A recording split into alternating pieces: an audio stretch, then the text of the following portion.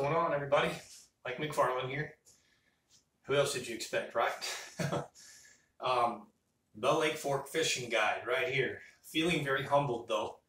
Um, this lake, boy, sure has been fishing tough. It's just fishing tough. It, it's on the brink of opening up um, from one day to the next. It's just, uh, it's amazing. It's sitting in a in a window right now that I've never really seen in April. Um, it's a grind. If you're not looking at the fish, meaning looking for bed fish, it's hard to catch them. Um, there's still a lot of bed fish. There's a lot of fish paired up right now, males and females together.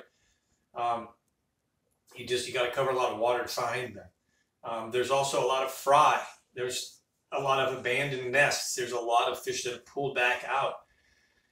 There's a lot of fish that should be finished, and there should be a post-spawn bite. But general consensus um, is is it's it's tough. So spinner baits and, and chatterbaits and square bills around some of the birds and the shad spawn is catching a few fish. Um, again, if you're not looking at them sight fishing, it just seems to be um, really, really tough. It's a grind. That is truly, truly about to change for multiple reasons.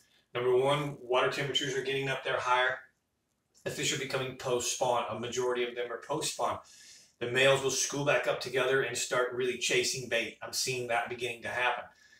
The shad spawn's up happening. So as the shad spawn really progresses and gets into full swing, um, that's really going to help a lot. Um, the females, again, post-spawn fish, they're going to start gorging to recover from the spawn and the weight that they lost during the spawn, and, and they dump the eggs now, so their focus is, is food and survival the rest of the year, not reproduction. And then finally here, I hope and pray that tonight the weatherman is correct. Um, but we got a whopper of a storm coming through again, and they're, they're predicting from up to one to two inches of rain. So before we go into what that can do, we have kind of begin to drop back. And remember, falling water pulls fish out. In the springtime, fish want to come in. They want to come in to spawn. They want to be in those nests. So falling water makes those fish nest a little bit deeper where we can't see them. A lot of fish nest where we can't see them anyways. Um, and so falling water makes it a challenge, but it stabilized somewhat the last couple days. And tonight, big storms coming. Let's hope it doesn't break up. Let's hope it doesn't go around fork. Let's hope it bombs us and gives us a couple inches of rain because a couple inches of rain will really bring us up a lot. It can push us. A couple inches of rain could almost bring us to full pool. It could be really close, really, really close. But the rising water will help. Another fresh bound of water um, rising is going to really bring a fish up. The clarity is so-so right now, 0 to 1, depends on where you are. And the temperatures, again, are 67 to 70. Um, so I really, really do hope I'm home safe. I hope everybody's home safe already this evening when the stuff hits. Um, it, it, looks fast, maybe a few hours, um, but it, it, it, does potentially have some some heaviness to it. And, and that is going to bring about the shallow bite again. So get your buzz baits, get your frogs. Um, it's gonna, it should fire everything up. It should really, really make a difference. Um, kind of wipe the slate clean where we've been sitting stagnant. Um, so I would love to see that happen. It's going to dirty the waters up a little bit in the backwaters, and that's okay. So three points. Think shad spawn, think top water, frogs, buzz baits, popping top waters, walking top waters on the shad spawn and the birds, um, and bedfish. That's it. That's, that's where you're at right now. So that's the April report. Remember that um, you're probably, by the time you watch this, it will have already happened. But I'm doing the live giveaway tonight for the members only. Um, we've got a package that's worth of over $170 that we're giving away to, to one of the lucky members tonight.